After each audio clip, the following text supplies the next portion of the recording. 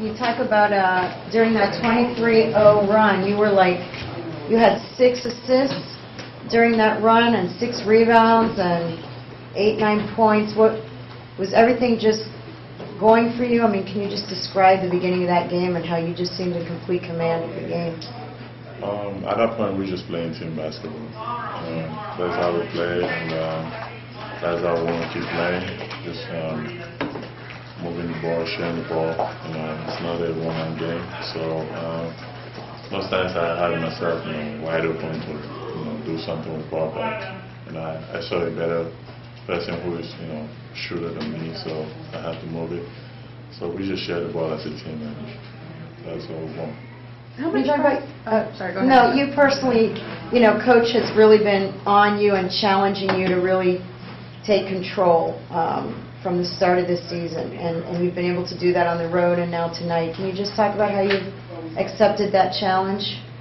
Uh, yeah, it, I mean, it has been a tough one because uh, from the start when he recruited me, I mean, um, I wasn't a more of a scholar, so um, I've uh, accepted the, the role and uh, you know and the challenge, and um, I've worked towards it, and um, yeah, my game is coming along in the offensive part, and um, my teammates also they're pushing me along, you know. Sometimes they, when they give me the ball, you know, they kind of tell me to go to work, and so uh, I kind of get confidence when the game too. So that's been a challenge, but yeah, I accepted it. How mu- How much do you enjoy that part of the game of being able to get your teammates involved and, and dishing the ball out instead of taking a shot yourself? I mean, I'm I'm really like uh, you know, excited about it, and uh, you know when they when I give them the ball and they knock them the shot, you know I'm I'm more happy. You know, I I don't think they're happier than me. I think I'm more happy. You know when I find a wide open person to knock the shot. on your national ranking, how much motivation was it? How much, how important was it to, you know, come out strong tonight? Uh, really like uh, we playing basketball, we're playing team basketball. We're not really looking at the numbers, you know. Uh, we know we rank, but at the same time, uh, any team could come in and beat us any night. But uh, so we're just trying to play as a team and you know try to keep the winning record going. You know, that's all we're playing for. We're not looking at the numbers beside it.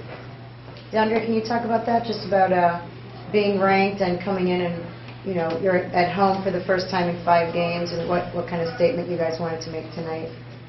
like you said, the number doesn't matter. Coach L always preaches that. Like, we got to come in and play hard no matter who the opponent is. So that's what we wanted to do tonight, come in and just play hard.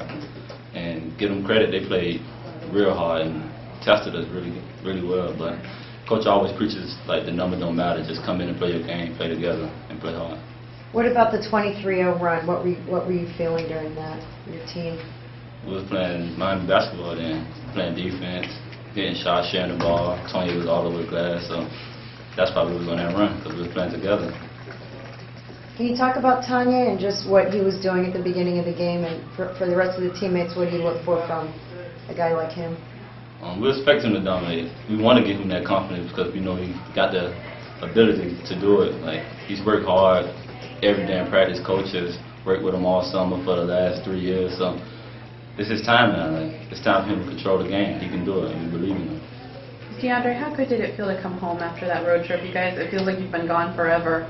Um, to be able to come home and play that way, I mean, did you all feel tired? Was there any kind of sluggishness, or was it, were you guys just ready to go and play at home? I mean, anytime you play at home, it's great. We love to play at home, and to come away with a five game win streak on the road, it's good to get back in front of the crowd and win one for them. So I think that was more of what we was thinking about, getting a win in front of our crowd because we haven't played it since the first game. So it felt good. Thank you.